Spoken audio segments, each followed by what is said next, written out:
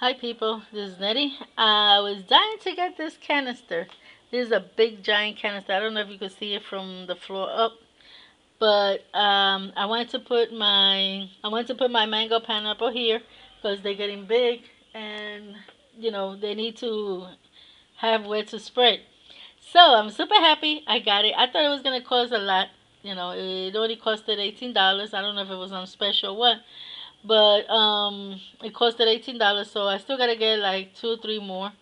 You know i'm gonna put them right in front of the house. I'm gonna put it you know next to the wall to the window wall. Not this side where i got my plants the other side. I'm gonna put at least one there and i could put another one here on the other side. And i have space out there to do it. So it's gonna be pretty nice because I still got to get one for my cocoa plant. I got to get another one for my mango, my avocado. My avocado, that's the one. So, saying this, I got my first one. I got two more to go, or three, or God knows how much, because, hey, I'm to keep on planting. I'm just waiting for the winter to come so I could start planting more seeds. But um, I don't have, how you call it, I don't have, I can't wait to, let me show you what, why I'm getting distracted.